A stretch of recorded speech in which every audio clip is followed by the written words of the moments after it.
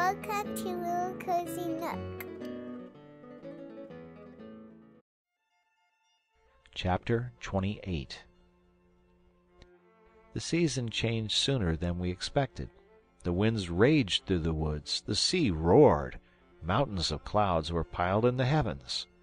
They soon burst over our heads, and torrents of rain fell night and day, without intermission. The rivers swelled till their waters met, and turned the whole country around us into an immense lake. Happily, we had formed our little establishment on a spot rather elevated above the rest of the valley. The waters did not quite reach our tree, but surrounded us about two hundred yards off, leaving us on a sort of island in the midst of the general inundation. We were reluctantly obliged to descend from our abode. The rain entered it on all sides, and the hurricane threatened every moment to carry away the apartment and all that were in it. We set about our removal, bringing down our hammocks and bedding to the sheltered space under the roots of the trees that we had roofed for the animals. We were painfully crowded in the small space; the stores of provisions, the cooking utensils, and especially the neighborhood of the animals, and the various offensive smells, made our retreat almost insupportable. We were choked with smoke if we lighted a fire, and inundated with rain if we opened a door. For the first time since our misfortune, we sighed for the comforts of our native home; but action was necessary, and we set about endeavoring to amend our conditions. The winding staircase was very useful to us. The upper part was crowded with things we did not want, and my wife frequently worked in the lower part at one of the windows. We crowded our beasts a little more, and gave a current of air to the places they had left. I placed outside the enclosure the animals of the country, which could bear the inclemency of the season. Thus I gave a half liberty to the buffalo and the onagra, tying their legs loosely to prevent them straying, the boughs of the tree affording them a shelter. We made as few fires as possible, as, fortunately, it was never cold, and we had no provisions that required a long process of cookery. We had milk in abundance, smoked meat, and fish, the preserved ortolans, and cassava cakes. As we sent out some of our animals in the morning, with bells round their necks, Fritz and I had to seek them and bring them in every evening, when we were invariably wet through. This induced my ingenious Elizabeth to make us a sort of blouse and hood out of old garments of the sailors, which we covered with coatings of the caoutchouc, and thus obtained two capital waterproof dresses, all that the exhausted state of our gum permitted us to make. The care of our animals occupied us a great part of the morning. Then we prepared our cassava and baked our cakes on iron plates. Though we had a glazed door to our hut, the gloominess of the weather, and the obscurity caused by the vast boughs of the tree, made night come on early. We then lighted a candle, fixed in a gourd on the table, round which we were all assembled. The good mother labored with her needle, mending the clothes. I wrote my journal, which Ernest copied, as he wrote a beautiful hand, while Fritz and Jack taught their young brother to read and write, or amused themselves with drawing the animals or plants they had been struck with. We read the lessons from the Bible in turns, and concluded the evening with devotion. We then retired to rest, content with ourselves and with our innocent and peaceful life. Our kind housekeeper often made us a little feast of a roast chicken, a pigeon, or a duck, and once in four or five days we had fresh butter made in the gourd churn, and the delicious honey which we ate on our cassava bread might have been a treat to European epicures. The remains of our repast was always divided amongst our domestic animals.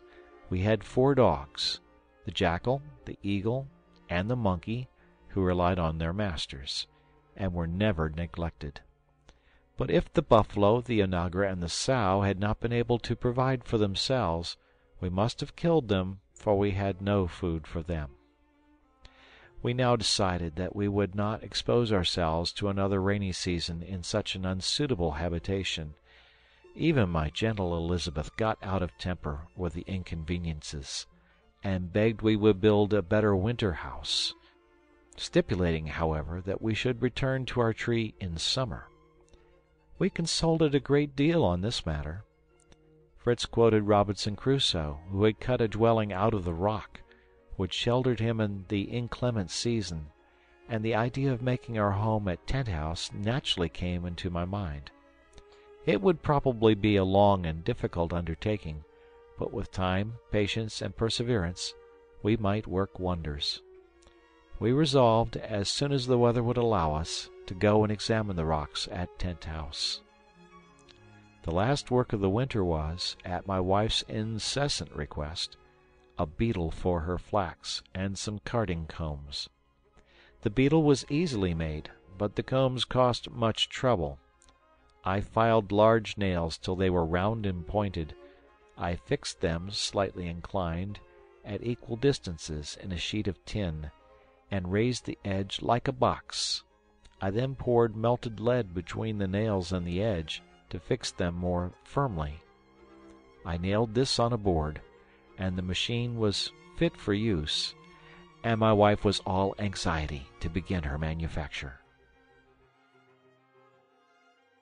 Chapter 29 I cannot describe our delight when, after long and gloomy weeks, we saw at length the sky clear, and the sun, dispersing the dark clouds of winter, spread its vivifying rays over all nature.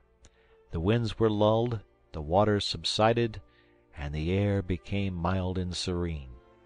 We went out with great shouts of joy to breathe the balmy air, and gratified our eyes with the sight of the fresh verdure already springing up around us. Nature seemed in her youth again, and amidst the charms it breathed on every side, we forgot our sufferings, and like the children of Noah coming forth from the ark, we raised a hymn of thanksgiving to the Giver of all good. All our plantations and seeds had prospered. The corn was springing, and the trees were covered with leaves and blossoms. The air was perfumed with the odor of countless beautiful flowers, and lively with the songs and cries of hundreds of brilliant birds, all busy building their nests. This was really spring in all its glory.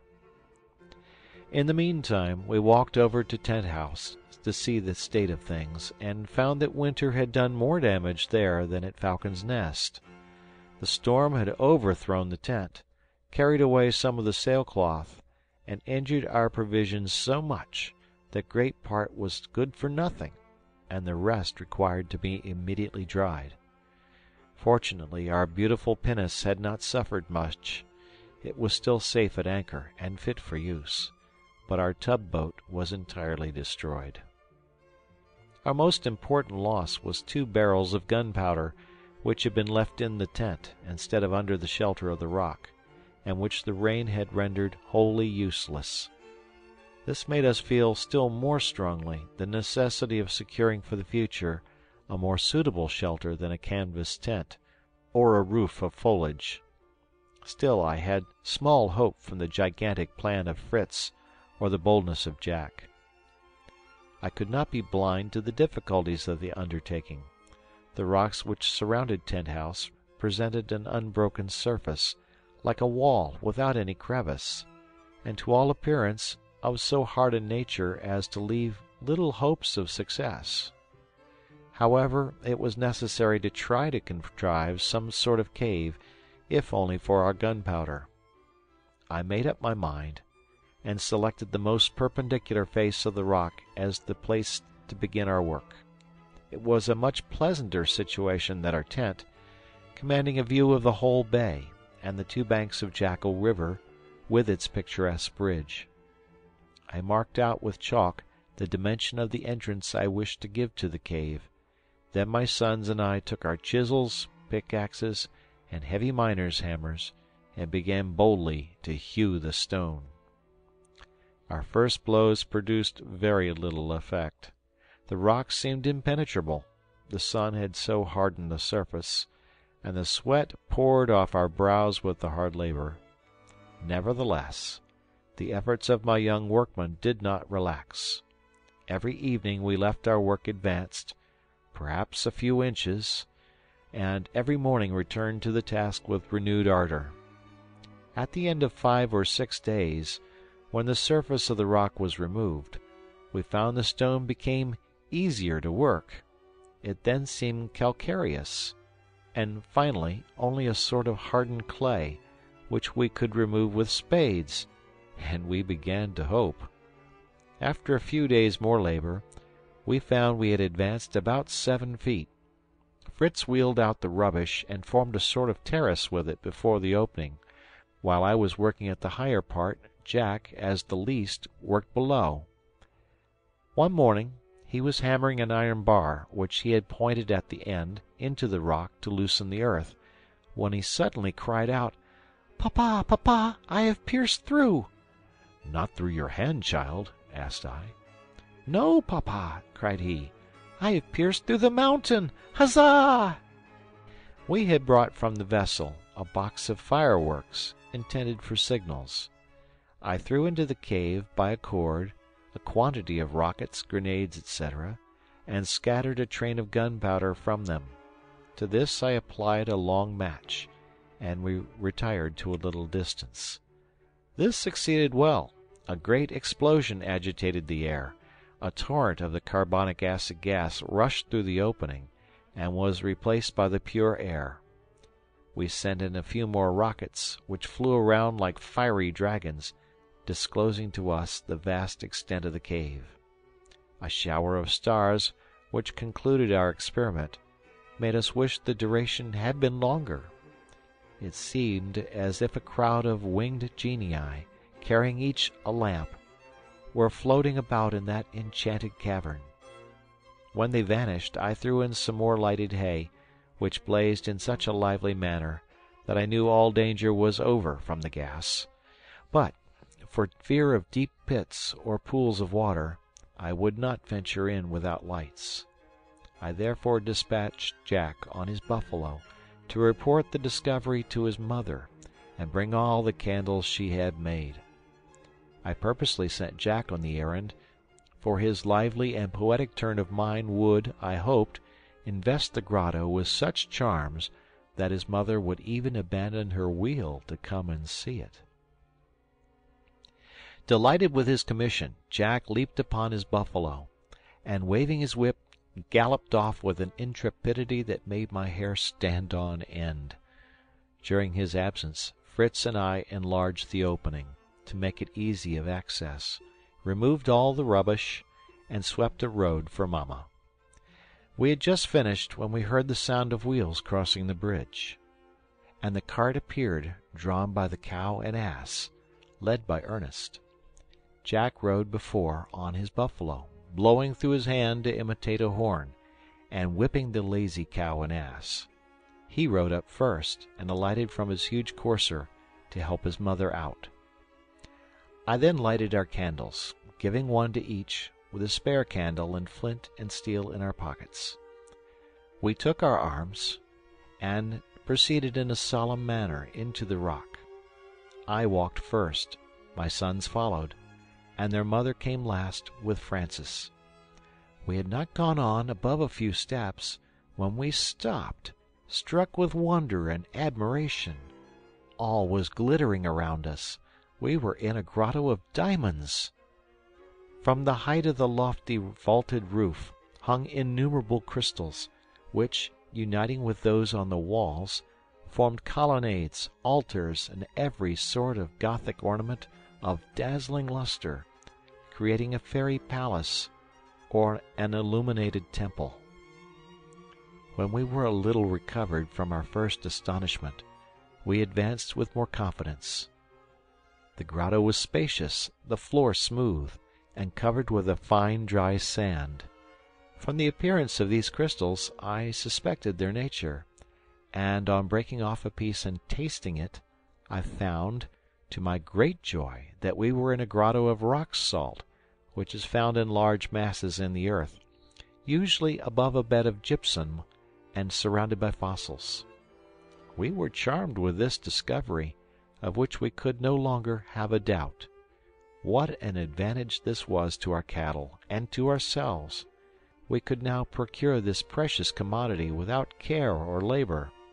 The acquisition was almost as valuable as this brilliant retreat was in itself, of which we were never tired of admiring the beauty.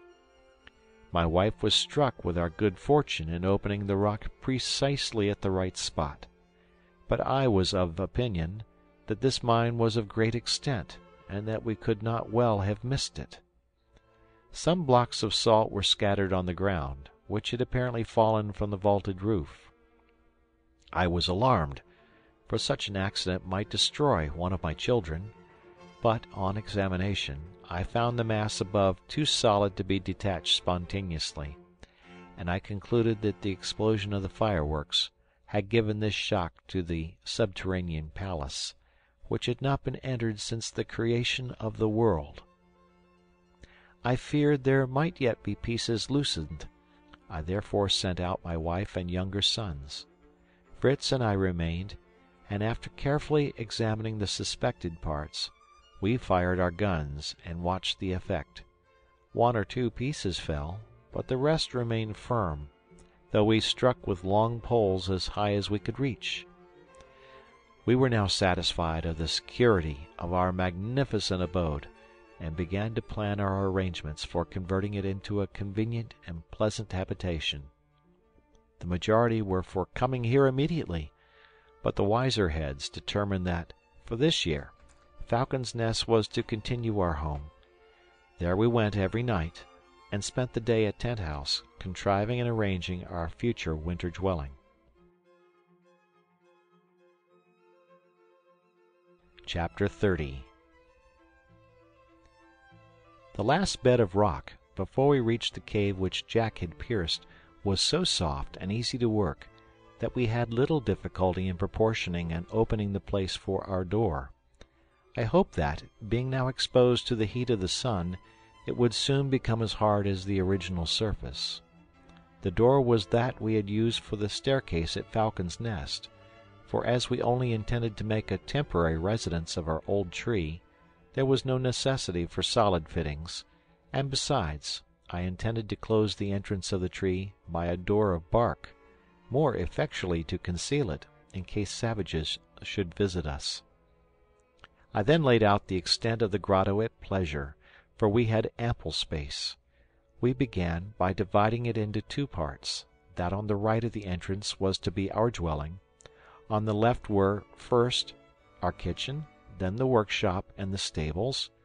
Behind these were the storerooms and the cellar. In order to give light and air to our apartments, it was necessary to insert in the rock the windows we had brought from the ship and this cost us many days of labor. The right hand portion was subdivided into three rooms the first our own bedroom, the middle the common sitting room, and beyond the boys' room. As we had only three windows, we appropriated one to each bedroom, and the third to the kitchen, contenting ourselves at present with a grating in the dining room. I constructed a sort of chimney in the kitchen, formed of four boards, and conducted the smoke thus, through a hole made in the face of the rock. We made our workroom spacious enough for us to carry on all our manufactures, and it served also for our cart house. Finally, all the partition walls were put up, communicating by doors, and completing our commodious habitation. These various labors, the removal of our effects, and arranging them again, all the confusion of a change when it was necessary to be at once workmen and directors, took us a great part of summer; but the recollection of the vexations we should escape in the rainy season gave us energy. We passed nearly all our time at Tent House, the center of our operations; and besides the gardens and plantations which surrounded it, we found many advantages which we profited by. Large turtles often came to deposit their eggs in the sand, a pleasant treat for us; but we raised our desires to the possession of the turtles themselves, living, to eat when we chose. As soon as we saw one on the shore, one of my sons ran to cut off its retreat. We then hastened to assist, turned the creature on its back, passed a long cord through its shell, and tied it firmly to a post close to the water. We then placed it on its legs, when of course it made for the water, but could only ramble the length of its cord. It seemed, however, very content, and we had it in readiness when we wanted it. The lobsters, crabs, mussels, and every sort of fish which abounded on the coast plentifully supplied our table. At this time I greatly improved my sledge by placing it on two small wheels belonging to the guns of the ship, making it a light and commodious carriage, but so low that we could easily place heavy weights on it. Satisfied with our labors, we returned very happy to Falcon's Nest, to spend our Sunday, and to thank God heartily for all the blessings He had given us. Chapter 31 We went on with our labors, but slowly, as many employments diverted us from the great work. We began to plan a boat to replace our tub raft. I wished to try to make one of bark, as the savage nations do, and I proposed to make an expedition in search of a tree for our purpose. All those in our own neighborhood were too precious to destroy, some for their fruits, others for their shade. We resolved to search at a distance for trees fit for our purpose, taking in our road a survey of our plantations and fields. Our garden at Tent House produced abundantly continual successions of vegetables in that virgin soil, and in a climate which recognized no change of season. The peas, beans, lentils, and lettuces were flourishing, and only required water, and our channels from the river brought this plentifully to us. We had delicious cucumbers and melons. The maize was already a foot high. The sugar canes were prospering and the pineapples on the high ground promised us a rich treat. We hoped our distant plantations were going on as well, and all set out one fine morning to Falcon's Nest to examine the state of things there. We found my wife's cornfields were luxuriant in appearance, and for the most part ready for cutting. There were barley, wheat, oats, beans, millet, and lentils we cut such of these as were ready, sufficient to give us seeds for another year. The richest crop was the maize, which suited the soil, but there were a quantity of gatherers more eager to taste these new productions than we were. There were birds of every kind, from the bustard to the quail, and from the various establishments they had formed round, it might be presumed they would not leave much for us. After our first shock at the sight of these robbers, we used some measures to lessen the number of them. Fritz unhooded his eagle and pointed out the dispersing bustards. The well trained bird immediately soared and pounced on a superb bustard and laid it at the feet of its master. The jackal, too, who was a capital pointer, brought to his master about a dozen little fat quails, which furnished us with an excellent repast to which my wife added a liquor of her own invention, made of the green maize crushed in water and mingled with the juice of the sugar cane, a most agreeable beverage, white as milk, sweet and refreshing. We found the bustard which the eagle had struck down, but slightly wounded. We washed his hurts with a balsam made of wine, butter, and water, and tied him by the leg in the poultry yard as a companion to our tame bustard we passed the remainder of the day at Falcon's Nest, putting our summer abode into order and thrashing out our grain to save the precious seed for another year. The turkey wheat was laid by in sheaves till we should have time to thrash and winnow it. And then I told Fritz that it would be necessary to put the hand mill in order that we had brought from the wreck. Fritz thought we could build a mill ourselves on the river, but this bold scheme was at present impracticable.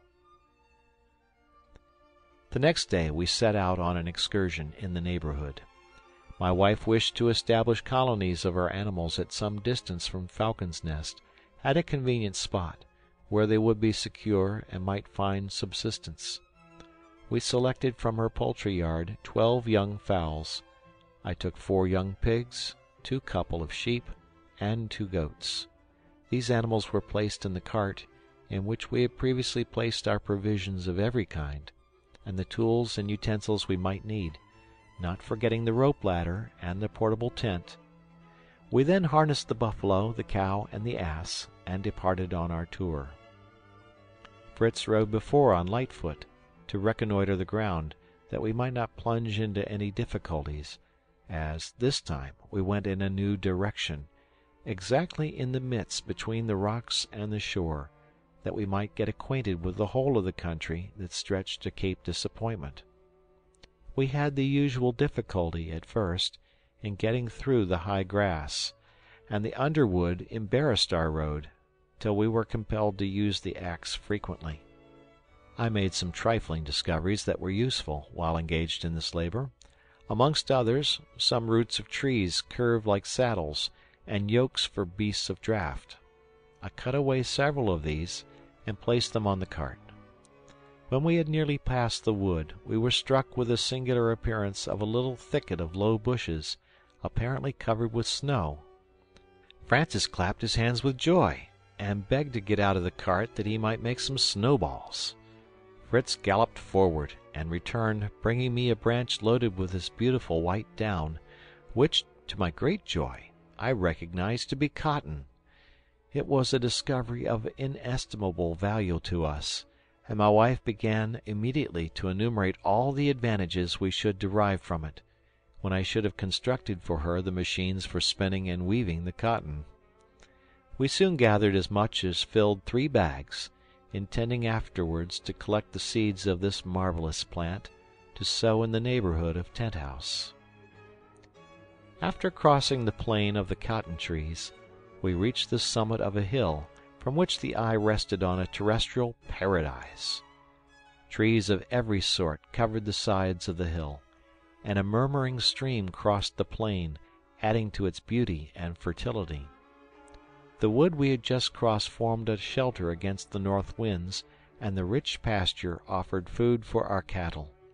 We decided at once that this should be the site of our farm. We erected our tent, made a fireplace, and set about cooking our dinner. While this was going on, Fritz and I sought a convenient spot for our structure, and we met with a group of beautiful trees, at such a distance one from another as to form natural pillars for our dwelling. We carried all our tools here, but as the day was far advanced, we delayed commencing our work till next day. We returned to the tent, and found my wife and her boys picking cotton, with which they had made some very comfortable beds, and we slept peacefully under our canvas roof. Chapter 32 The trees which I had chosen for my farmhouse were about a foot in diameter in the trunk. They formed a long square, the long side facing the sea. The dimensions of the whole were about 24 feet by 16. I cut deep mortices in the trees, about 10 feet distant from the ground, and again 10 feet higher, to form a second story. I then placed in them strong poles. This was the skeleton of my house, solid, if not elegant. I placed over this a rude roof of bark, cut in squares, and placed sloping, that the rain might run off. We fastened these with a thorn of the acacia, as our nails were too precious to be lavished. We continued our work at the house, which occupied us several days. We formed the walls of thin laths, interwoven with long, pliant reeds for about six feet from the ground. The rest was merely a sort of light trellis work, to admit light and air. The door opened on the front to the sea. The interior consisted simply of a series of compartments, proportioned to the guests they were to contain. One small apartment was for ourselves when we chose to visit our colony. On the upper story was a sort of hayloft for the fodder. We projected plastering the walls with clay, but these finishing touches we deferred to a future time, contented that we had provided a shelter for our cattle and fowls. To accustom them to come to this shelter of themselves, We took care to fill their racks with the food they liked best, mingled with salt, and this we proposed to renew at intervals till the habit of coming to their houses was fixed.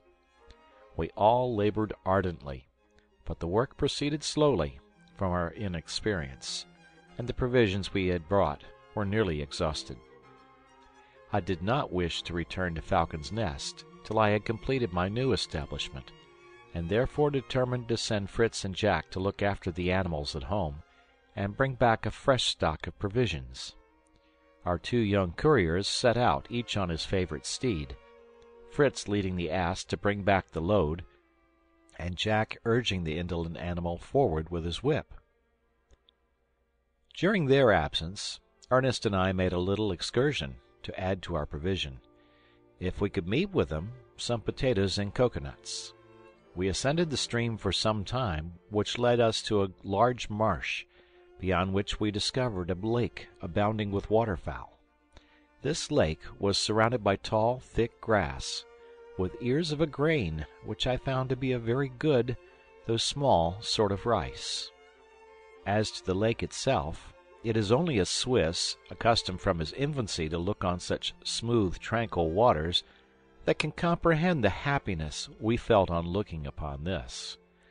We fancied we were once more in Switzerland, our own dear land, but the majestic trees and luxuriant vegetation soon reminded us we were no longer in Europe, and that the ocean separated us from our native home. We proceeded round the lake, which presented a different scene on every side. This was one of the most lovely and fertile parts we had yet seen of this country. Birds of all kinds abounded, but we were particularly struck with a pair of black swans sailing majestically on the water. Their plumage was perfectly black and glossy, except the extremity of the wings, which was white.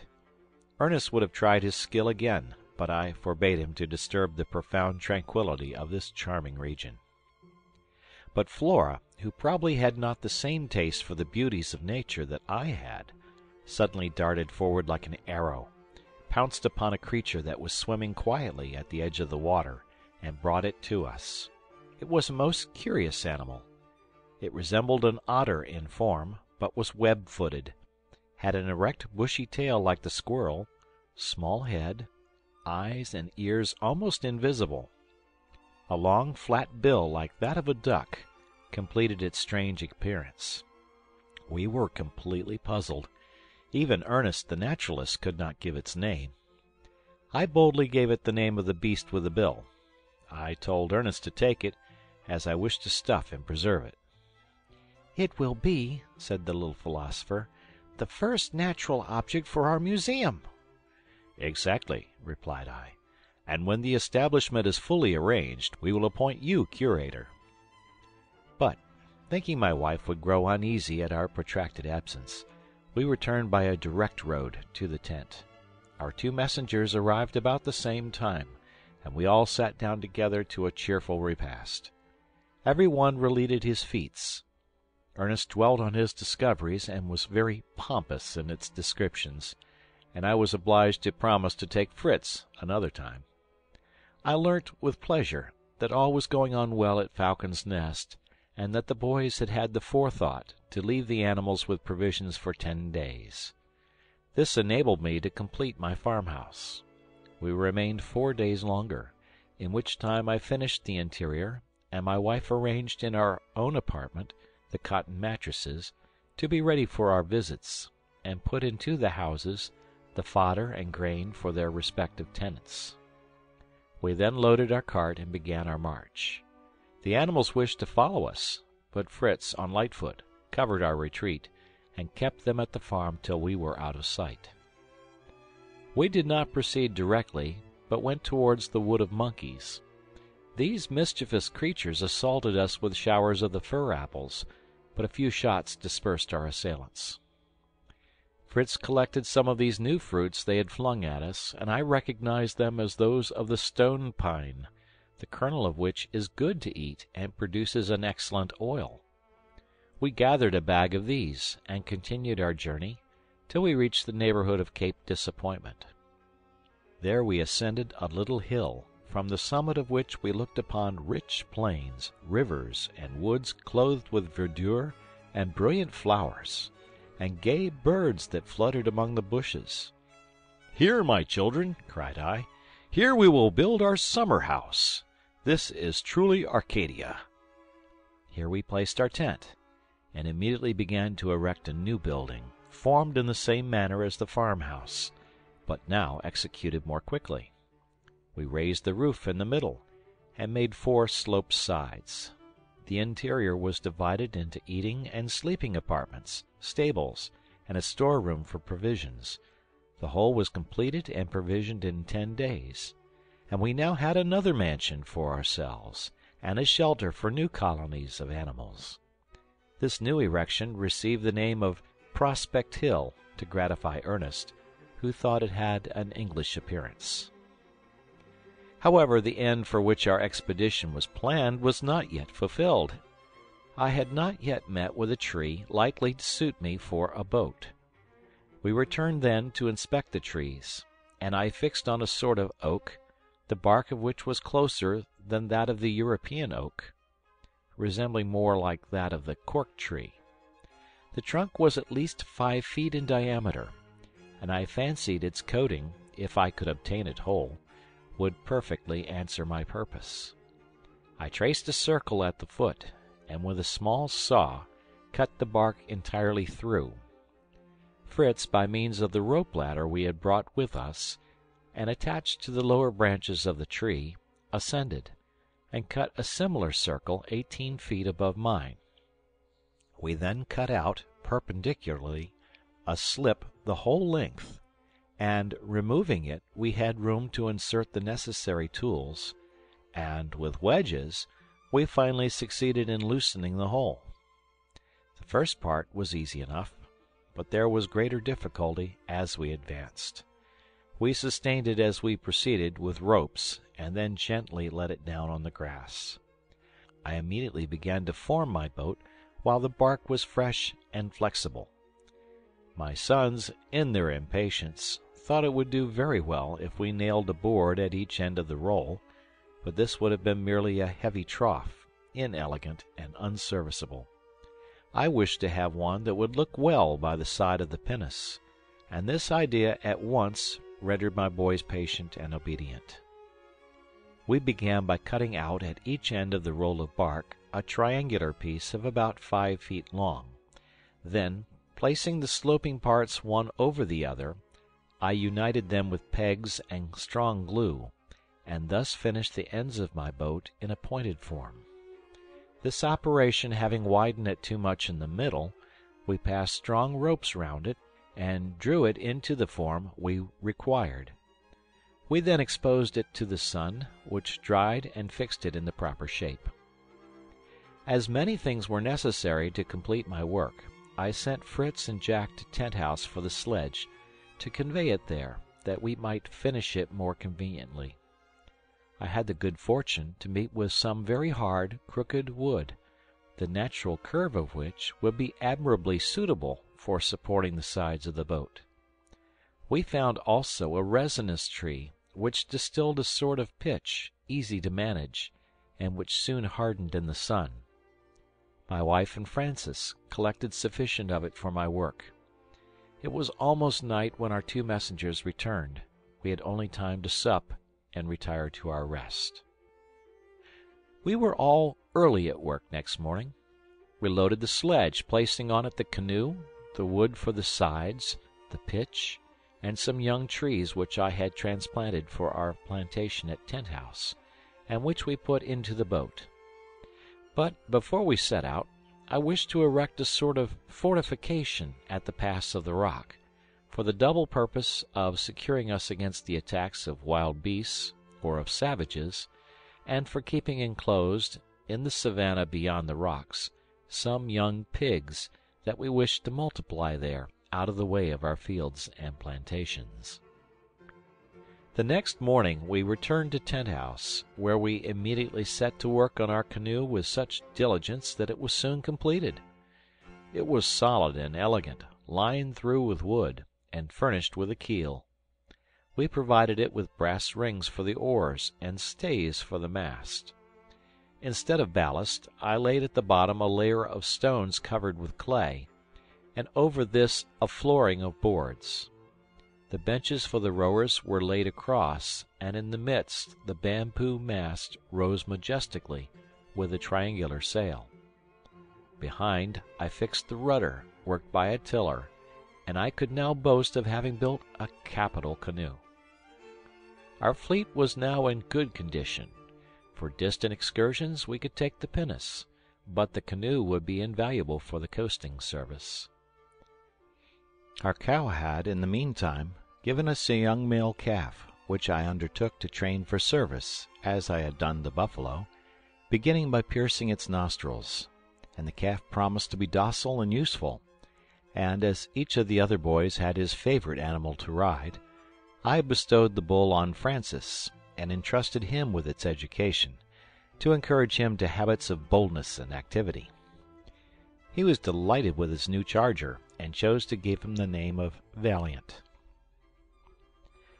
We had still two months before the rainy season, and this time we devoted to completing the comforts of our grotto. We made all the partitions of wood, except those which divided us from the stables, which we built of stone, to exclude any smell from the animals. We soon acquired skill in our works. We had a plentiful supply of beams and planks from the ship, and by practice we became very good plasterers. We covered the floors with a sort of well beaten mud smoothed it, and it dried perfectly hard. We then contrived a sort of felt carpet.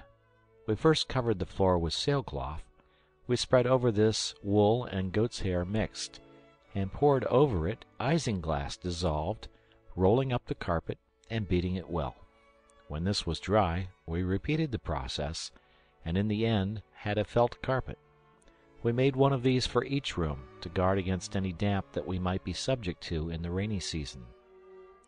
After dinner, our evening occupations commenced. Our room was lighted up brilliantly. We did not spare our candles, which were so easily procured, and we enjoyed the reflection in the elegant crystals above us. We had partitioned off a little chapel in one corner of the grotto, which we had left untouched, and nothing could be more magnificent than this chapel lighted up with its colonnades, portico, and altars. We had divine service here every Sunday. I had erected a sort of pulpit from which I delivered a short sermon to my congregation, which I endeavored to render as simple and as instructive as possible. Jack and Francis had a natural taste for music. I made them flageolets of reeds, on which they acquired considerable skill. They accompanied their mother, who had a very good voice, and this music in our lofty grotto had a charming effect. We thus made great steps towards civilization, and though condemned, perhaps, to pass our lives alone on this unknown shore, we might yet be happy. We were placed in the midst of abundance. We were active, industrious, and content, blessed with health, and united by affection our minds seemed to enlarge and improve every day. We saw around us on every side traces of the divine wisdom and beneficence, and our hearts overflowed with love and veneration for that almighty hand which had so miraculously saved and continued to protect us. I humbly trusted in Him either to restore us to the world, or send some beings to join us in this beloved island, where for two years we had seen no trace of man. To him we committed our fate. We were happy and tranquil, looking with resignation to the future. Chapter 33 I left the reader at the moment in which I had placed the first part of my journal in the hands of Lieutenant Bell, to deliver to Captain Johnson of the English vessel, the Adventurer, expecting him to return the next day with Lieutenant Bell. We separated in this hope and I thought it necessary to inform my family of this expected visit, which might decide their future lot. My wife and elder sons might wish to seize this only occasion that might occur to revisit their native country, to quit their beloved island, which would doubtless cost them much sorrow at the last moment, but was necessary to their future comfort. I could not help feeling distressed at the prospect of my dear children's solitary old age, and I determined, if they did not wish to return with Captain Johnson, to request him to send some colonists out to people our island. It will be remembered that I had left home alone and at an early hour, having perceived the vessel from the top of our tree with my telescope. I had set out without breakfast, without giving my sons their tasks, or making any arrangements for the labors of the day. My conference with Lieutenant Bell had been long. It was now past noon, and knowing how prompt my wife was to alarm herself, I was surprised that I did not meet her nor any of my sons. I began to be uneasy, and on my arrival I hastily mounted the tree, and found my faithful partner extended on her bed, surrounded by her four sons, and apparently in great pain. I demanded, with a cry of grief, what had happened. All wished to speak at once, and it was with some difficulty I learned that my dear wife, in descending the staircase, had been seized with a giddiness in her head, and had fallen down and injured herself so much that she was unable to rise without assistance. She was now enduring great pain in her right leg and in her left foot. Ernest and I, added Fritz, carried her without delay to her bed, though not without difficulty, for the staircase is so narrow. But she continued to get worse, and we did not know what to do. Jack said, I have rubbed her foot continually, but it swells more and more, as well as her leg which I dare not touch, it hurts her so much. And said Ernest, I remember, father, that of the chest that we brought from the ship there is one unopened, which is marked medicines. May it not contain something that will relieve mamma? Perhaps it may, my son. You did well to remember it. We will go to Tent House for it. Fritz, you shall accompany me to assist in bringing it. I wished to be alone with Fritz, to consult him about the English vessel and was glad of this opportunity. Before I left my wife, I intended to examine her leg and foot, which were exceedingly painful. When I was preparing to enter the church, I had studied medicine and practical surgery, in order to be able to administer to the bodily afflictions of my poor parishioners, as well as to their spiritual sorrows. I knew how to bleed, and could replace the dislocated limb. I had often made cures, but since my arrival at the island I had neglected my medical studies, which happily had not been needed. I hoped now, however, to recall as much of my knowledge as would be sufficient to cure my poor wife. I examined her foot first, which I found to be violently sprained. She begged me then to look at her leg, and what was my distress when I saw it was fractured above the ankle! However, the fracture appeared simple without splinters, and easy to cure. I sent Fritz without delay to procure me two pieces of the bark of a tree, between which I placed the leg, after having, with the assistance of my son, stretched it till the two pieces of broken bone united. I then bound it with bandages of linen, and tied the pieces of bark round the leg, so that it might not be moved. I bound the sprained foot very tightly till I could procure the balsam which I expected to find in the chest. I felt assured that the giddiness of the head which had caused her fall proceeded from some existing cause, which I suspected, from the pulse and the complexion, must be a fullness of blood, and it appeared to be necessary to take away some ounces, which I persuaded her to allow me to do when I should have brought my medicine chest and instruments from Tent House. I left her, with many charges, to the care of my three younger sons, and proceeded to Tent House with Fritz, to whom I now related my morning adventure, and consulted him how we should mention it to its mother. Fritz was astonished. I saw how his mind was employed. He looked round on our fields and plantations, increasing and prospering. We must not tell her, father, said he. I will be at Tent House early in the morning. You must give me some commission to execute. I will await the arrival of the captain, and tell him that my dear mother is ill, and that he may return as he came. You speak rashly, Fritz, answered I. I have told you that the ship has suffered much from the storm, and needs repairs. Have you not often read the golden rule of our divine master? Do unto others as you would have others do unto you. Our duty is to receive the captain into our island, and to assist him in repairing and refitting his vessel. And he will find, said he, we know something of that kind of work. Did you show him our beautiful pinnace and canoe? But can such a large vessel enter our bay of safety? No, replied I. I fear there will not be sufficient water. But we will show the captain the large bay at the other end of the island, formed by Cape Disappointment. He will find there a beautiful harbor. And he and his officers may live at the farm, and we can go over every day to assist in repairing their vessel, continued Fritz. Very well, said I. And when it is finished, he will, in return, give us a place in it, to return to Europe. To return to Europe, father! cried he. To leave our beautiful winter dwelling, Tent House, and our charming summer residence, Falcon's Nest, our dear good animals, our crystals of salt, our farms, so much that is our own and which nobody covets. To return into Europe to poverty, to war, to those wicked soldiers who have banished us. We want nothing. Dear father, can you consent to leave our beloved island? You are right, my dear son, said I. Would to God we might always remain here happily together. But we are of different ages, and by the law of nature we must one day be separated. Consider, my dear son, if you should survive your brothers, how cheerless it would be to live quite alone on this desert island, without any one to close your eyes. But let us look at these trees.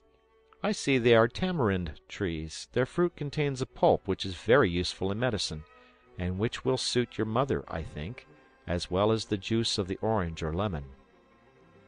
We shall find some of the latter at our plantation near Tent House. But in the meantime, do you climb the tamarind tree and gather some of those pods which resemble those of beans. Fill one side of the bag with them, and the other we will reserve for the oranges and lemons. Not to lose any time, I will go on to Tent House to seek for the two chests, and you can follow me. Fritz was up the tamarind tree in a moment. I crossed Family Bridge, and soon reached the grotto. I lighted a candle, which I always kept ready, entered the magazine, and found the two chests labeled. They were neither large nor heavy, and having tied cords round them for the convenience of carrying them, I proceeded to visit the orange and lemon trees, where I found the fruit sufficiently ripe for lemonade. Fritz came to meet me, with a good supply of tamarinds. We filled the other end of his sack with oranges and lemons. He threw it over his shoulder, and, neither of us being overloaded, we pursued our way homewards very quickly, notwithstanding the heat, which was excessively oppressive, though the sun was hidden under the thick clouds, which entirely concealed the sea from us. Nothing was to be seen but the waves breaking against the rocks. Fritz expressed his fears that a storm was coming on, which might prove fatal to the vessel, and wished to take out the pinnace and endeavor to assist Captain Johnson. Delighted as I felt with his fearless humanity, I could not consent. I reminded him of the situation of his mother.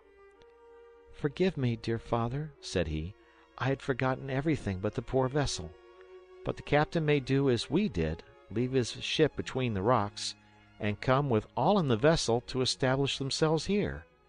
We will give them up a corner of our islands, and if there should be any ladies amongst them, how pleasant it would be for mamma to have a friend. The rain fell now in torrents, and we proceeded with great difficulty. After crossing the bridge, we saw at a distance a very extraordinary figure approaching us. We could not ascertain what species of animal it was. It appeared taller than any of the monkeys we had seen, and much larger, of a black or brown color. We could not distinguish the head, but it seemed to have two thick and movable horns before it. We had fortunately taken no gun with us, or Fritz would certainly have fired at the singular animal but as it rapidly approached us, we soon recognized the step, and the cry of pleasure which hailed us. "It is Jack!" we exclaimed; and in fact it was he, who was hurrying to meet us with my large cloak and waterproof caoutchouc boots. I had neglected to take them, and my dear little fellow had volunteered to bring them to Tent House. To protect himself on the way, he had put the cloak on, covering his head with a hood, and my boots being too large for him, he had put one on each arm, which he held up to secure the hood. Conceive what a singular figure he made. Notwithstanding our uneasiness and our wretched condition, for we were wet to the skin, we could not but laugh heartily at him. I would not consent to use the coverings he had brought. Neither Fritz nor I could be worse for the distance we had to go, and Jack was younger and more delicate. I obliged him therefore to retain his curious protection, and asked how he had left his mother.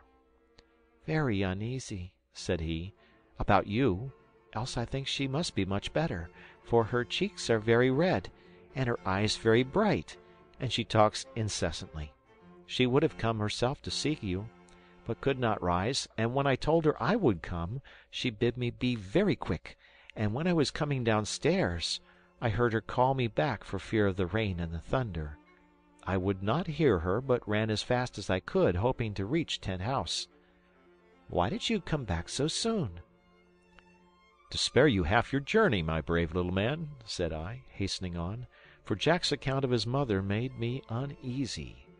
I perceived she must be laboring under fever, and the blood ascending to her head. My children followed me, and we soon reached the foot of our castle in the air. Chapter 34 We entered our apartment literally as if we had come out of the sea, and I found my poor Elizabeth much agitated. "Heaven be praised!" said she. "But where is Jack, that rash little fellow?" "Here I am, mamma," said he, "as dry as when I left you. I have left my dress below, that I might not terrify you, for if Mr. Fritz had had his gun, I might have been shot as a rhinoceros, and not been here to tell you my story." The good mother then turned her thoughts on Fritz and me, and would not suffer us to come near her till we had changed our drenched garments. To oblige her, we retired to a little closet I had contrived between two thick branches at the top of the staircase which was used to contain our chests of linen, our dresses, and our provisions. Our dress was soon changed. We hung up the wet garments, and I returned to my companion, who was suffering from her foot, but still more from a frightful headache. She had a burning fever. I concluded that bleeding was urgently needed, but commenced by assuaging her thirst with some lemonade. I then opened my box of surgical instruments, and approaching the opening to the east, which served us for a window, and which we could close by means of a curtain, that was now entirely raised to give air to our dear invalid and to amuse my children, who were watching the storm. The mighty waves that broke against the rocks, the vivid lightning bursting through the castles of murky clouds, the majestic and incessant rolling of the thunder, formed one of those enchanting spectacles to which they had been from infancy accustomed. As in the Swiss mountains we are liable to frightful storms, to which it is necessary to familiarize oneself, as one cannot avoid them, I had accustomed my wife and children, by my own example, to behold, not only without fear, but even with admiration, these great shocks of the elements, these convulsions of nature. I had opened the chest, and my children had directed their attention to the instruments it contained. The first were a little rusty, and I handed them to Ernest, who, after examining them, placed them on a table inside the window.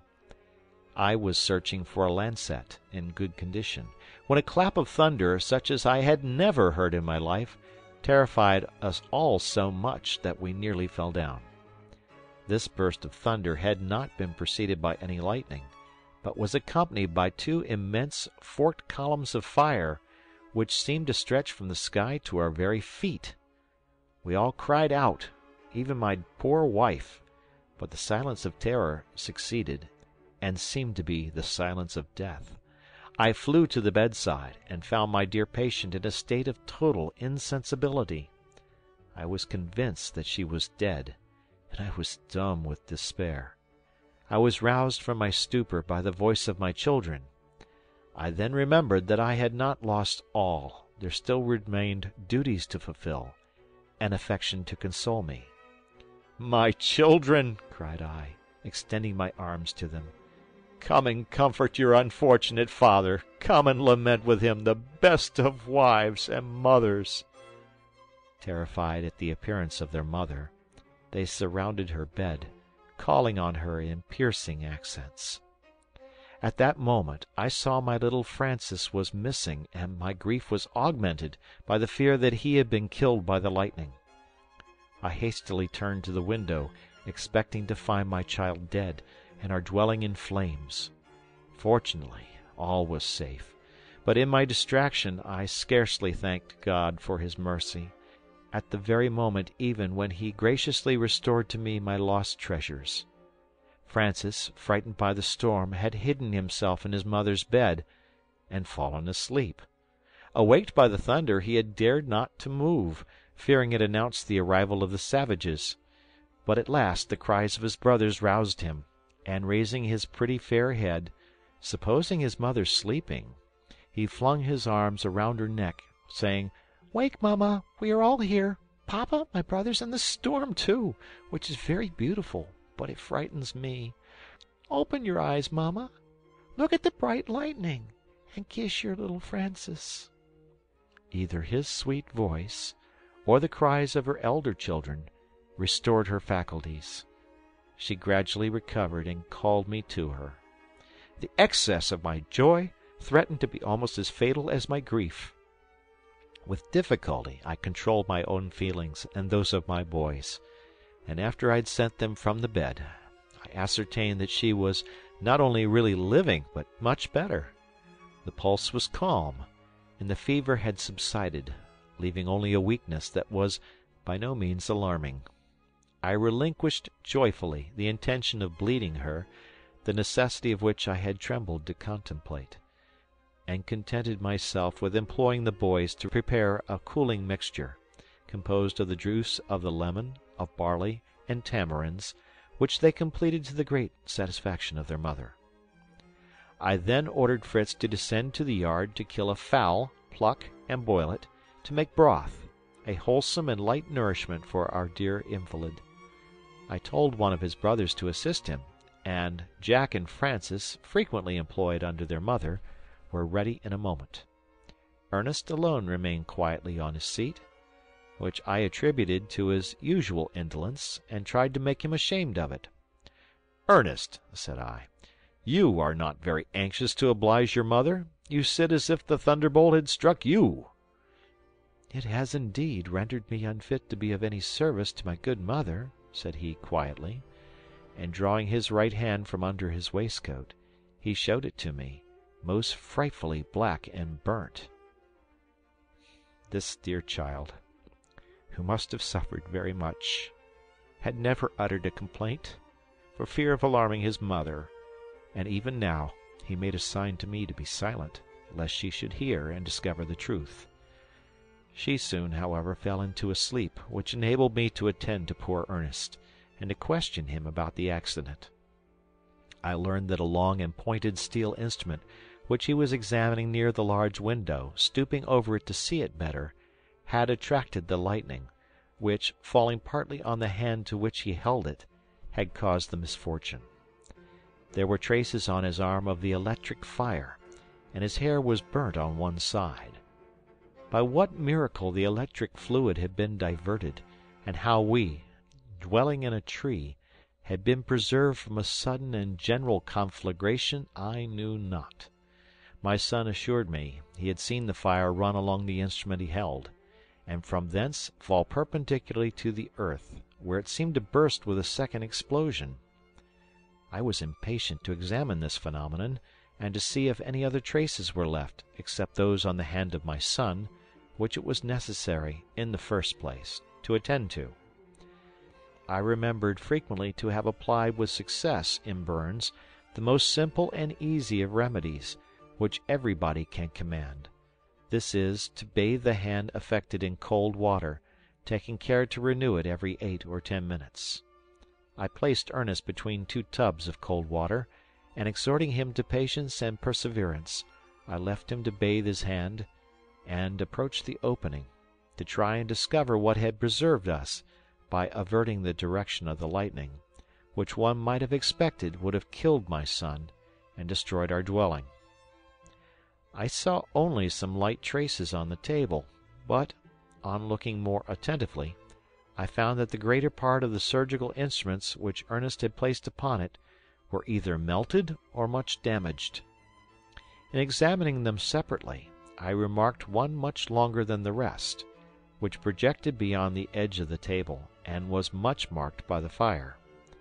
I could not easily take it up; it had adhered somewhat in melting, and in endeavoring to disengage it, I saw that the point, which was beyond the opening, touched a thick wire which seemed to be suspended from the roof of our tent.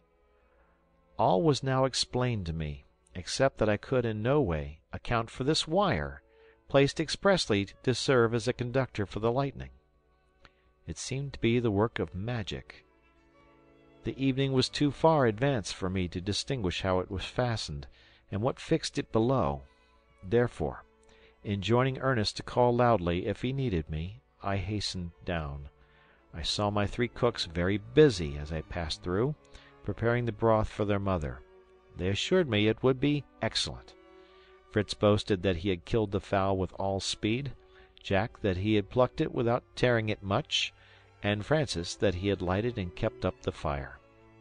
They had nothing to employ them just then, and I took them with me to have some one to talk to on the phenomenon of the lightning. Below the window I found a large packet of iron wire which I had brought from Tent House some days before, intending on some leisure day to make a sort of grating before our poultry yard. By what chance was it here and hooked by one end to the roof of our house? Some time before I had replaced our cloth canopy by a sort of roof covered with bark, nailed upon laths. The cloth still enclosed the sides in front. All was so inflammable that but for the providential conductor, we might have been in flames in an instant. I thanked God for our preservation, and little Francis, seeing me so happy, said, "Is it quite true, papa, that this wire has preserved us?" "Yes, it is true, my darling, and I wish to know what good genius has placed it there, that I may be thankful," said I. "Ah, father," said my little fellow, "embrace me but do not thank me, for I did not know that I was doing good." Astonished at this information, I requested my boy to tell me why and how he had fixed the wire. "I wanted to reach some figs," said he, "when you and Fritz were at Tent House and Jack and Ernest were nursing Mamma. I wished to do some good for her. I thought she would like some of our sweet figs, but there were none in my reach, and I had no stick long enough to beat them down. I went below, and found that great roll of wire. I tried to break a piece off, but could not, and I then determined to carry the whole up to our dwelling, and to bend one end into a hook by which I might catch some of the branches and bring them near me to gather the figs. I was very successful at first, and secured one or two figs. I had my packet of wire on the table by the window, and stood near it myself. I thought I could reach a branch that hung over our roof, loaded with fruit. I leaned forward and extended my hook to the branch. I felt I had secured it, and joyfully began to pull. You know, papa, they bend and don't break. But it remained immovable, as well as my hook, which was held by one of the laths in the roof. I pulled with all my strength, and in my efforts I struck my foot against the roll of wire which fell down to the ground without detaching the hook.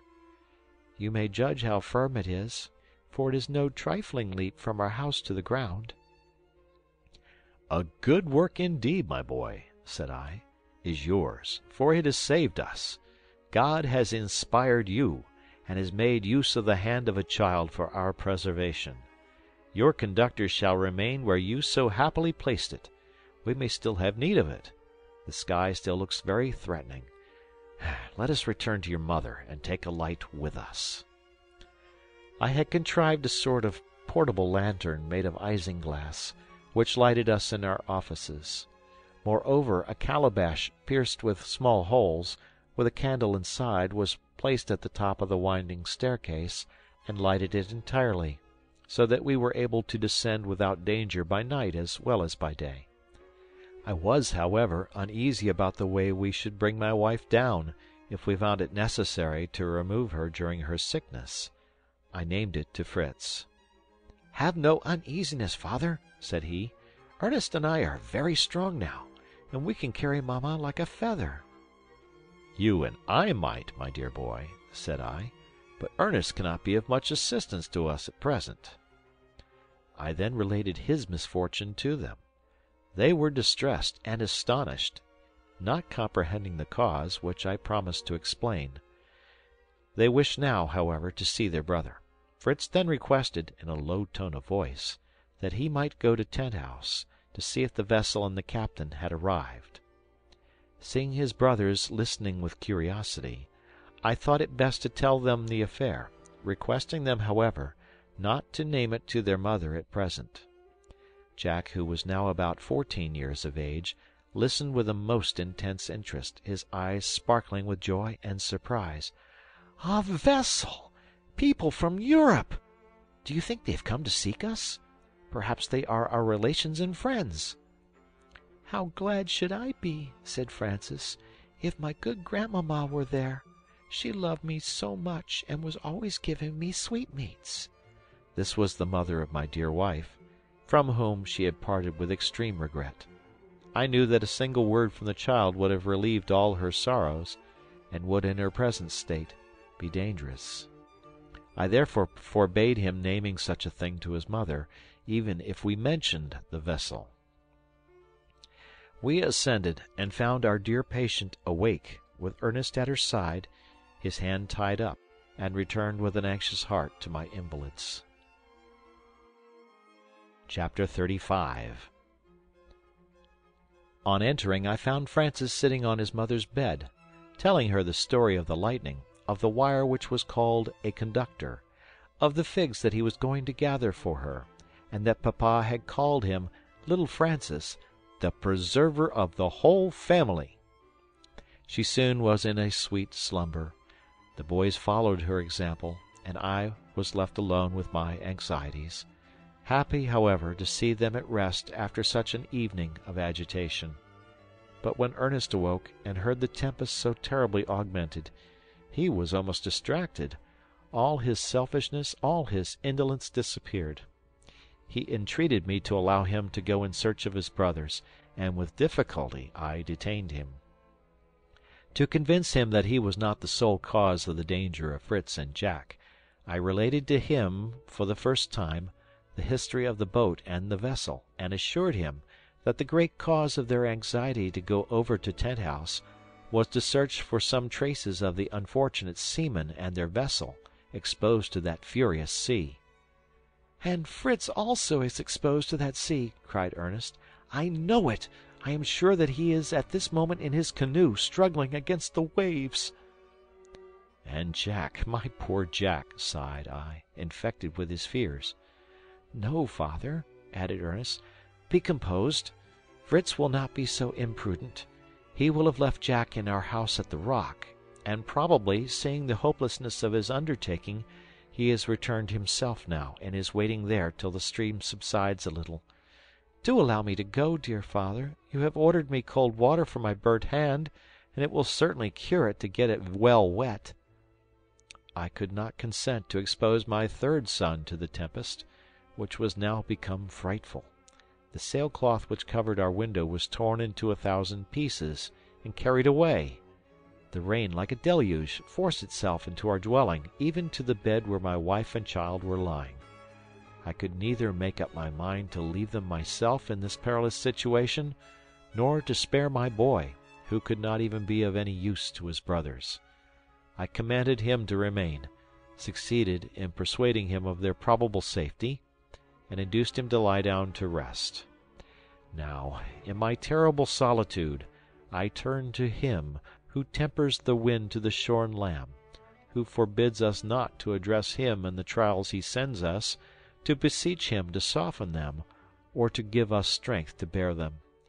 Kneeling down, I dared to supplicate Him to restore me my children, submissively adding, after the example of our blessed Saviour, Yet not my will, but thine be done, O Lord. My prayers appeared to be heard. The storm gradually abated, and the day began to break. I awoke Ernest, and having dressed his wounded hand, he set out for Tent House in search of his brothers. I followed him with my eyes as far as I could see. The whole country appeared one vast lake, and the road to Tent House was like the bed of a river. But, protected by his good gaiters of buffalo skin, he proceeded fearlessly and was soon out of my sight. I was recalled from the window by the voice of my wife, who was awake, and anxiously inquiring for her sons. At that moment the dear and well known voices were heard under the great window. "Father, I'm bringing back my brothers!" cried Ernest. "Yes, papa, we are all alive, and wet as fishes," added the sweet voice of Jack. "But not without having had our troubles," said the manly voice of Fritz.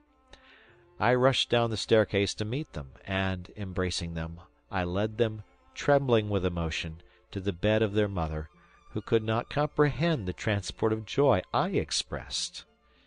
"Dear Elizabeth," said I, "here are our sons. God has given them to us a second time." "Have we then been in any danger of losing them?" said she. "What is the meaning of this?"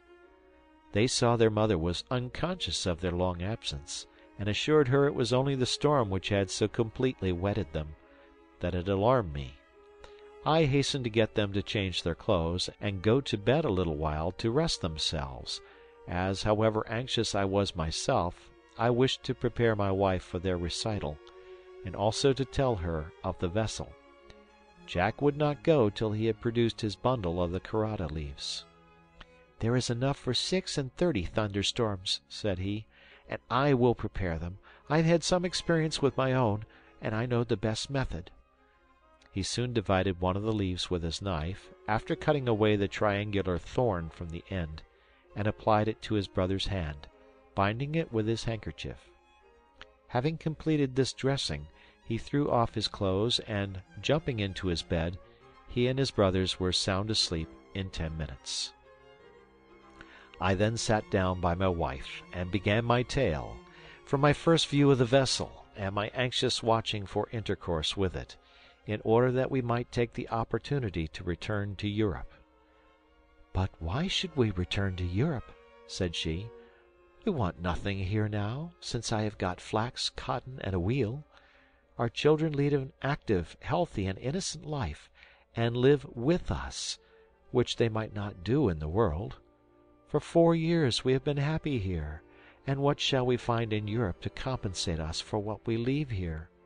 Poverty, war, and none of those things which we have here abundantly."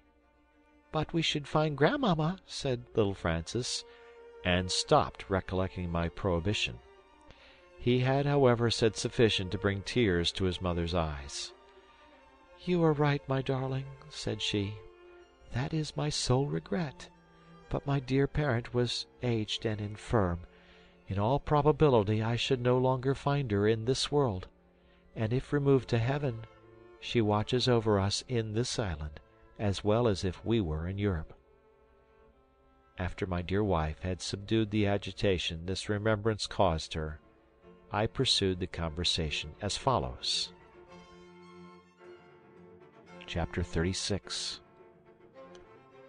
I see, my dear wife, said I, that you, as well as the rest of my family, are contented to remain on this island, where it seems it is the will of God for us to dwell, as it is improbable that in such a tempest Captain Johnson would risk approaching the island, if indeed it has not already been fatal to him. I'm impatient to learn if Fritz has any tidings of him, for it was on the shore near Tent House that he and Jack passed the night. "Well done, my good and courageous boys," said their mother. "They might at any rate have given assistance to them if wrecked." "You are more courageous than I am, my dear Elizabeth," answered I. "I have passed the whole night mourning for my children, and you think only of the good they might have done to their fellow creatures." My sons were awake by this time, and I eagerly inquired if they had discovered any traces of the vessel. Fritz said they had not but he feared it would never be able to resist the fury of the tempest.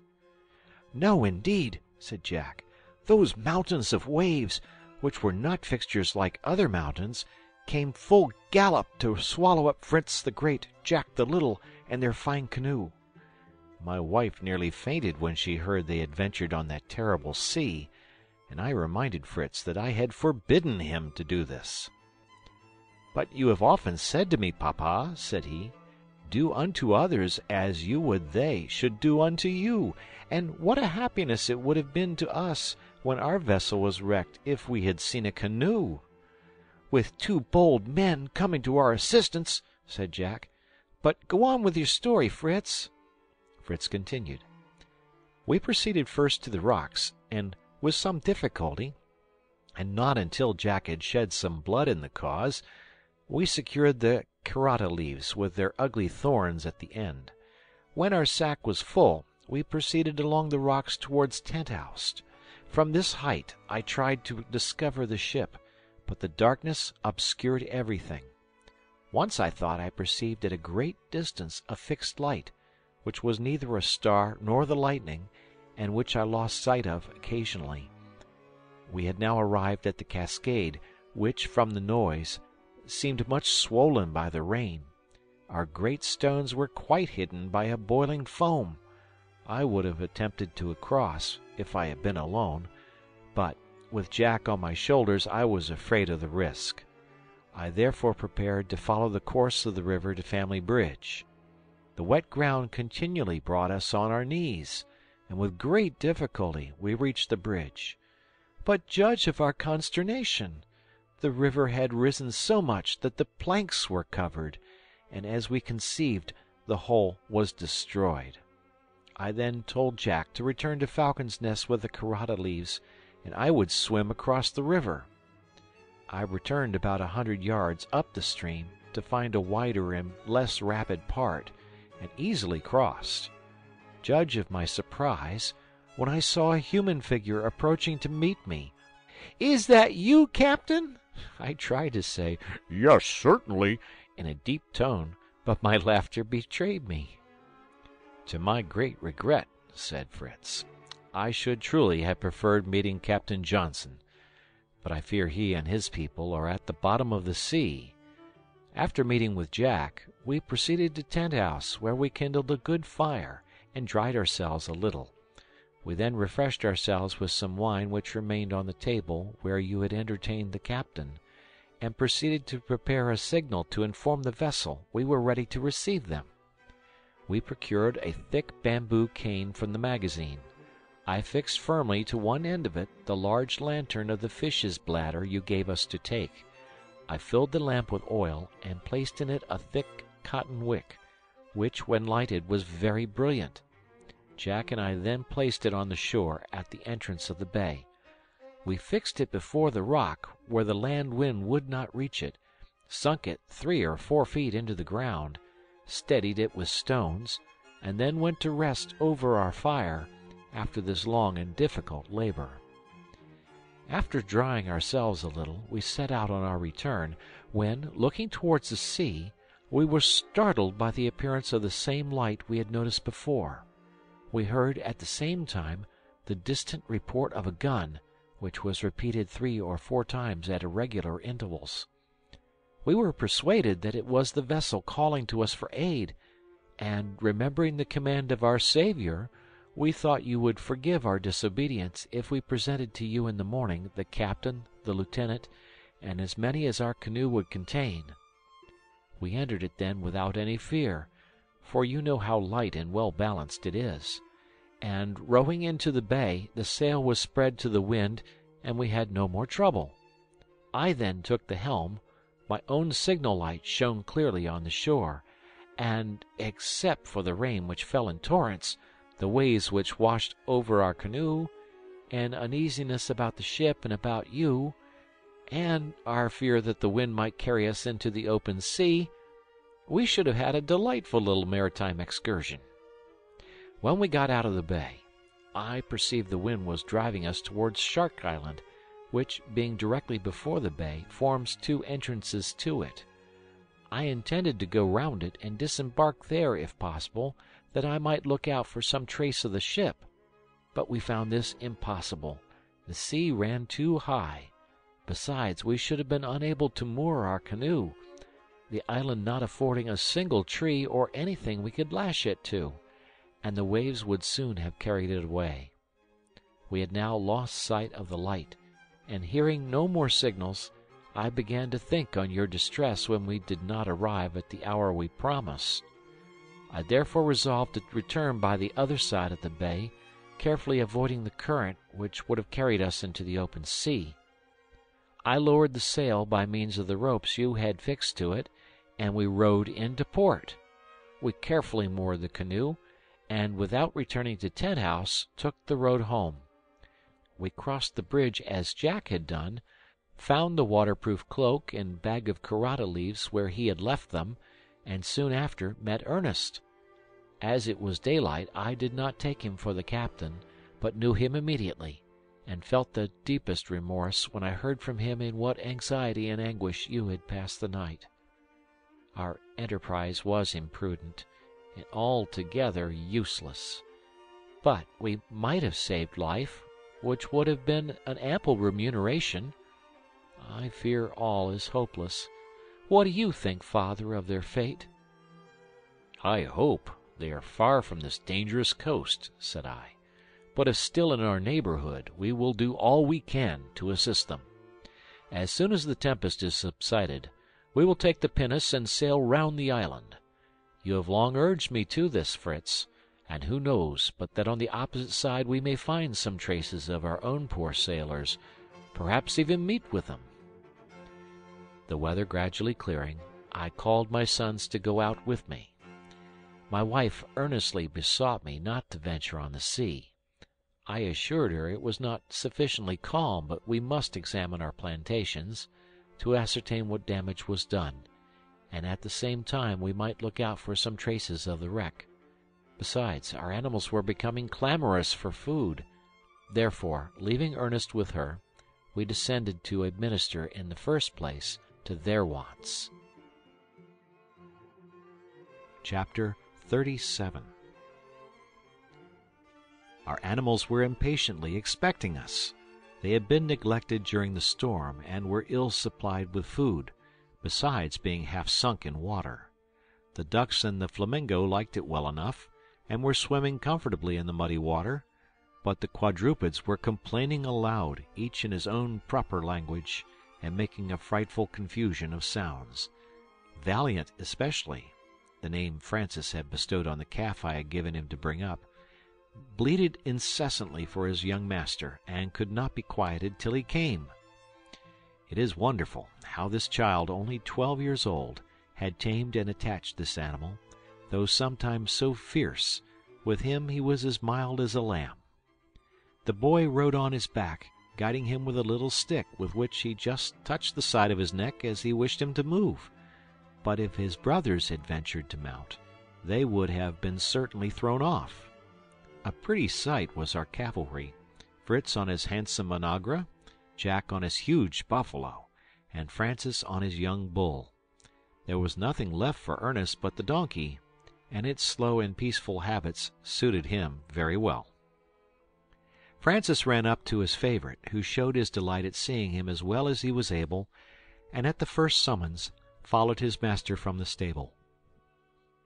Fritz brought out Lightfoot, Jack his buffalo, and I followed with the cow and the ass. We left them to sport about at liberty on the humid earth till we removed the water from their stable and supplied them with fresh food. We then drove them in, considering it advisable to pursue our expedition on foot, lest the bridge should still be overflowed. Francis was the superintendent of the fowls, and knew every little chicken by name. He called them out and scattered their food for them, and soon had his beautiful and noisy family fluttering round him. After having made all our animals comfortable, and given them their breakfast, we began to think of our own. Francis made a fire and warmed some chicken broth for his mother.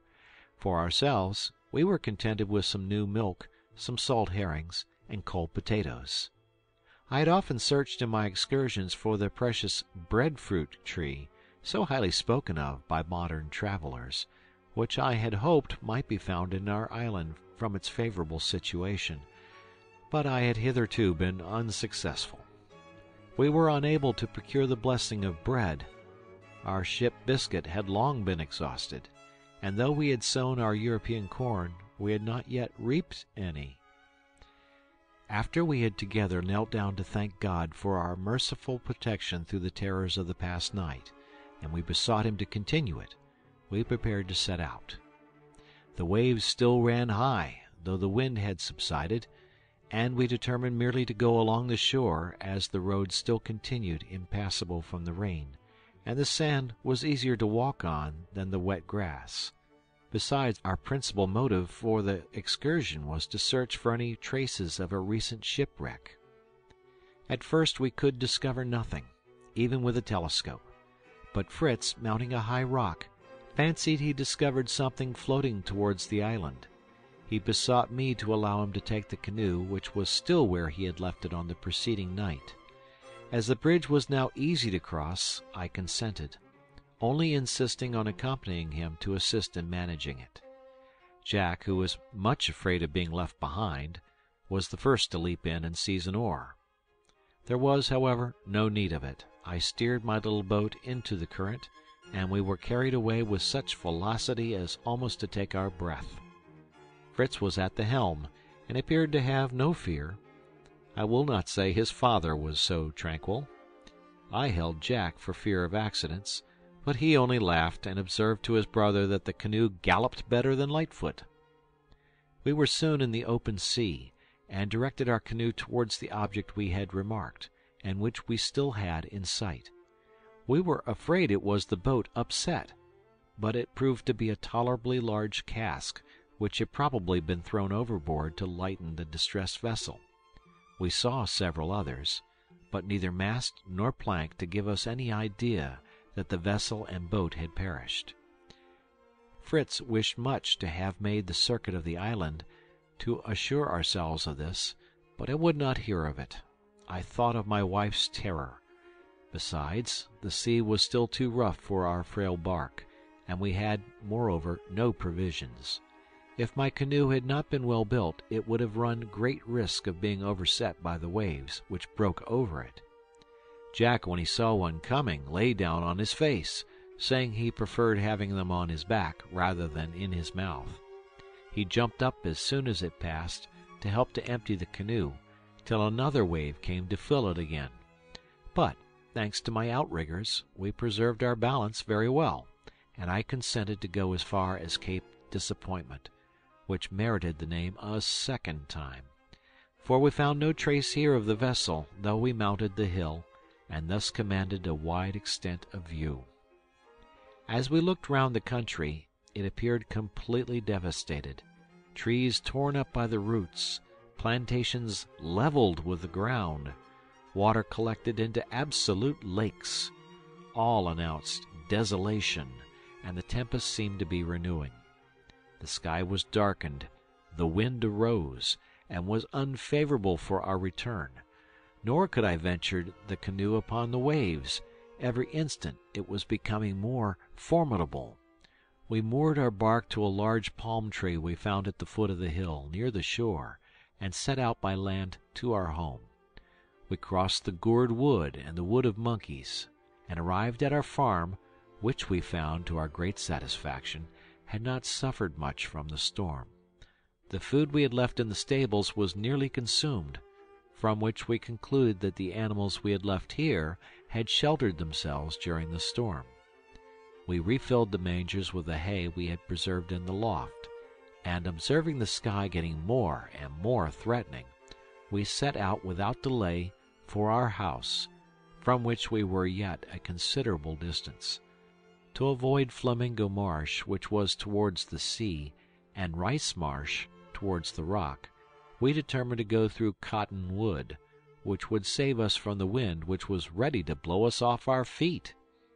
I was still uneasy about the ship, which the lieutenant had told me was out of repair, but I indulged a hope that they might have taken refuge in some bay or found anchorage on some hospitable shore where they might get their vessel into order.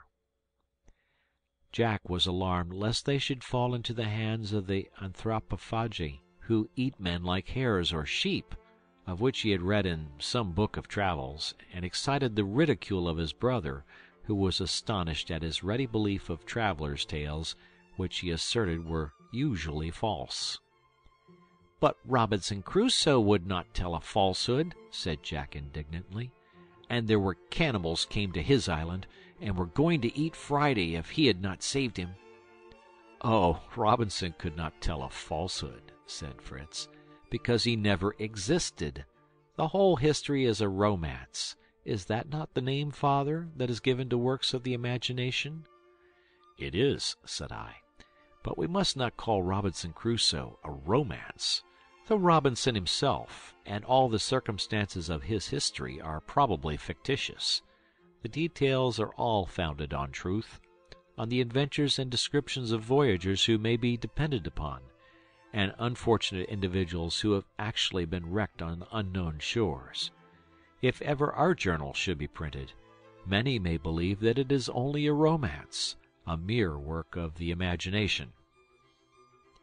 My boys hoped we should not have to introduce any savages into our romance, and were astonished that an island so beautiful had not tempted any to inhabit it. In fact, I had often been myself surprised at this circumstance, but I told them many voyagers had noticed islands apparently fertile and yet uninhabited. Besides, the chain of rocks which surrounded this might prevent the approach of savages, unless they had discovered the little bay of safety where we had landed. Fritz said he anxiously desired to circumnavigate the island, in order to ascertain the size of it, and if there were similar chains of rocks on the opposite side. I promised him, as soon as the stormy weather was past, and his mother well enough to remove to Tent House, we would take our pinnace and set out on our little voyage. We now approached the marsh, and he begged me to let him go and cut some canes, as he projected making a sort of carriage for his mother. As we were collecting them, he explained his scheme to me. He wished to weave of these reeds, which were very strong, a large and long sort of pannier, in which his mother might sit or recline, and which might be suspended between two strong bamboo canes by handles of rope.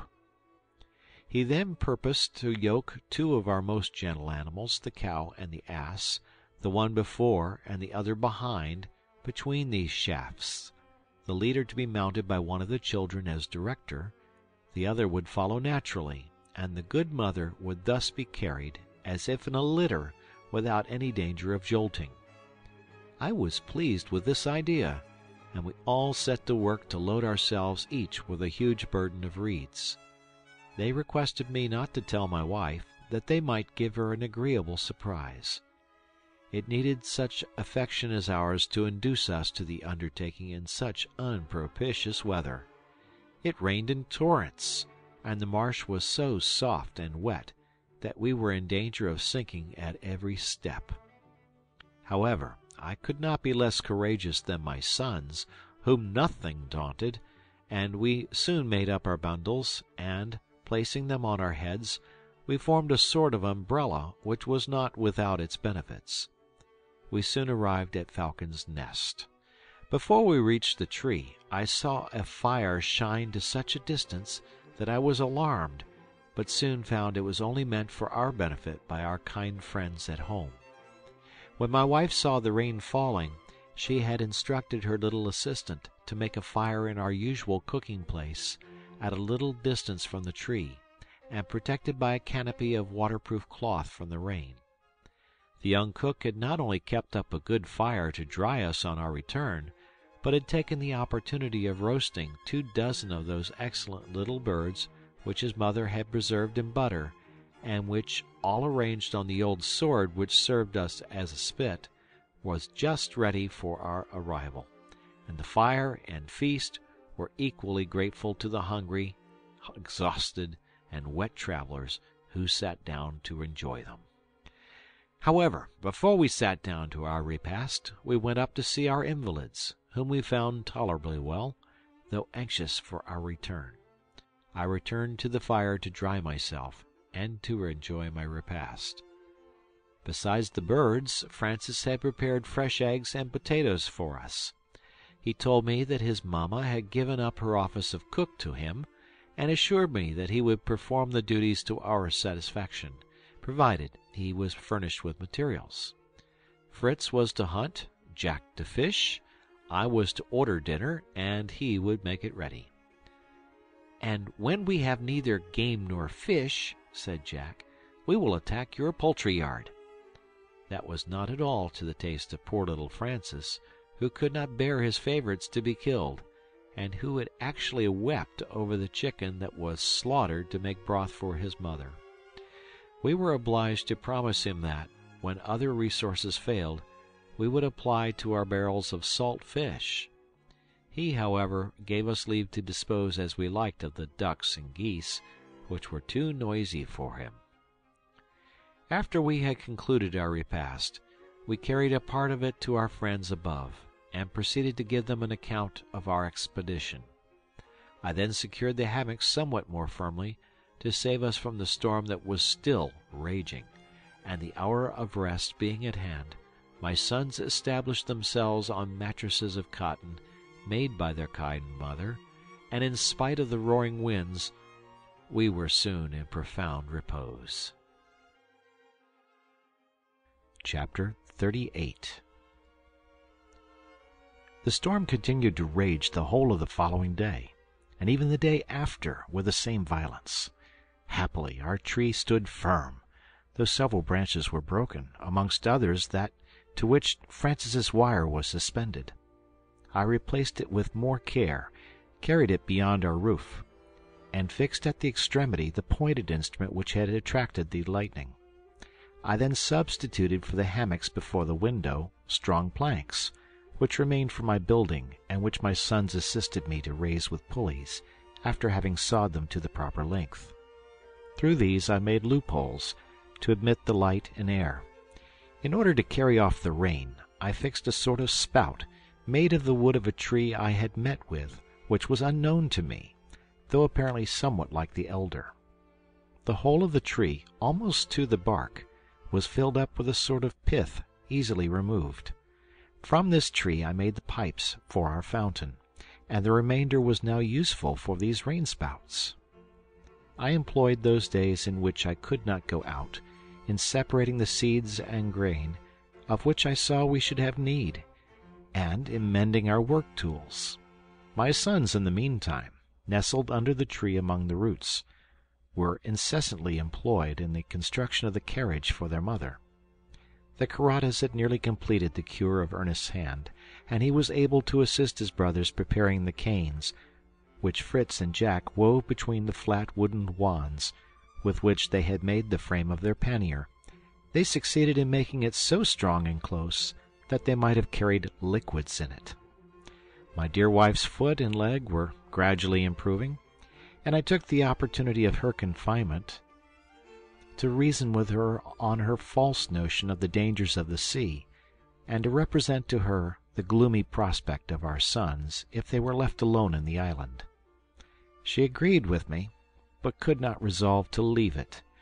She hoped God would send some vessel to us which might leave us some society, and after all, if our sons were left, she pointed out to me, that they had our beautiful pinnace, and might at any time of their own accord leave the island.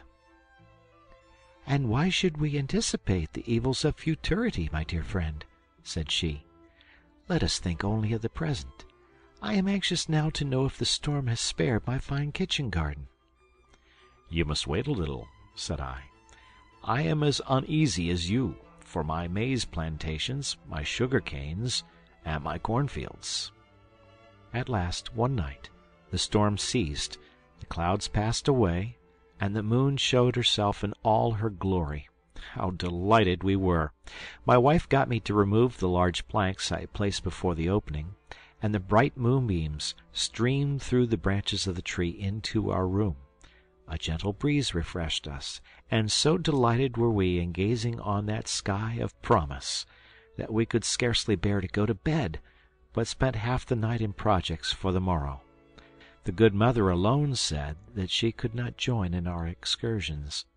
Jack and Francis smiled at each other as they thought of their litter, which was now nearly finished. A bright sun awoke us early next morning.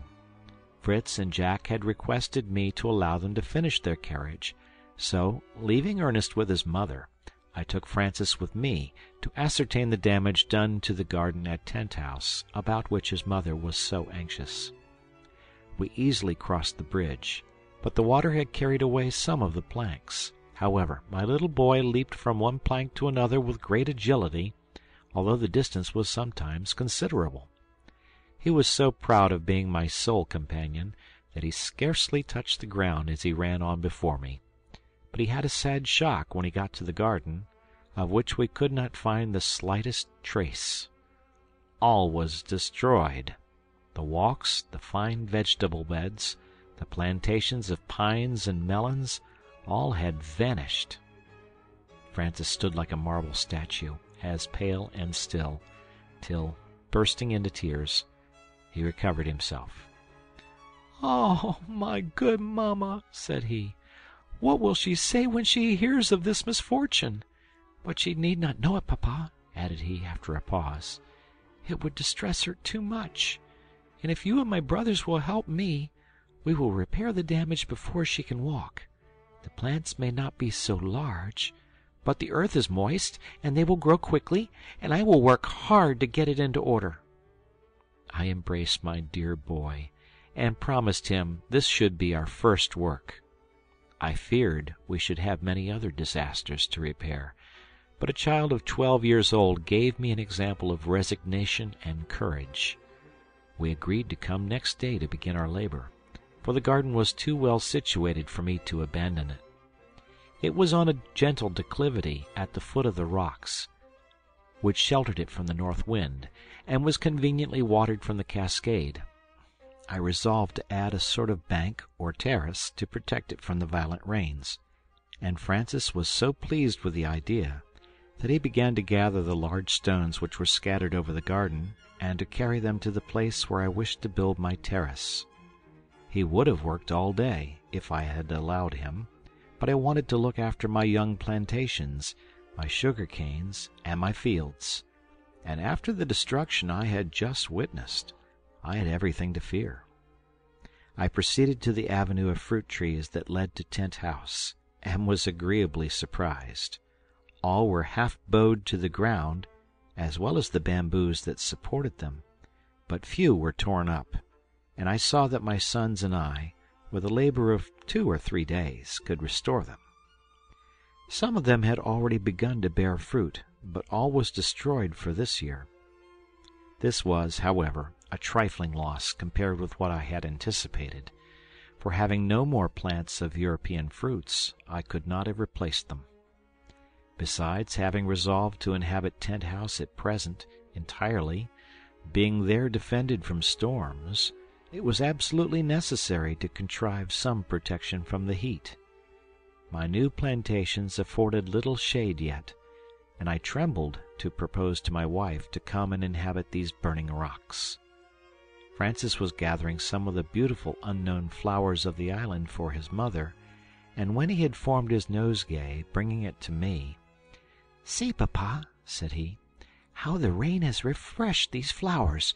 I wish it would rain still. It is so dreadfully hot here. Oh, if we had but a little shade!" "That is just what I was thinking of, my dear," said I. "We shall have shade enough when my trees are grown. But in the meantime "In the meantime, papa," said Francis, "I will tell you what you must do.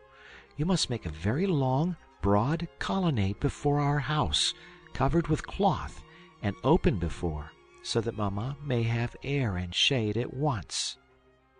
I was pleased with my son's idea, and promised him to construct a gallery soon, and call it the Franciade, in honor of him. My little boy was delighted that his suggestion should be thus approved, and begged me not to tell his mamma, as he wished to surprise her, as much as his brothers did with their carriage, and he hoped the Franciade might be finished before she visited Tent House. I assured him I would be silent, and we took the road hence, talking about our new colonnade. I projected making it in the most simple and easy way. A row of strong bamboo canes planted at equal distances along the front of our house, and united by a plank of wood at the top cut into arches between the canes. Others I would place sloping from the rock, to which I would fasten them by iron cramps. These were to be covered with sailcloth, prepared with the elastic gum, and well secured to the plank. This building would not take much time, and I anticipated the pleasure of my wife when she found out that it was an invention of her little favorite, who, of a mild and reflecting disposition, was beloved by us all.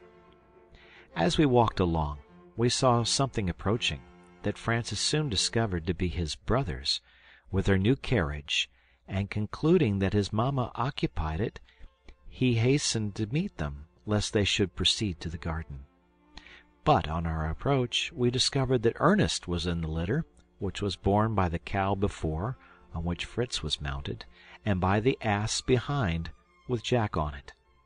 Ernest declared the conveyance was so easy and delightful that he should often take his mother's place. "I like that very much," said Jack. "Then I will take care that we will harness the onagra and the buffalo for you, and they will give you a pretty jolting, I promise you. The cow and ass are only for mamma. Look, papa, is it not complete? We wished to try it as soon as we finished it, so we got Ernest to occupy it while mother was asleep.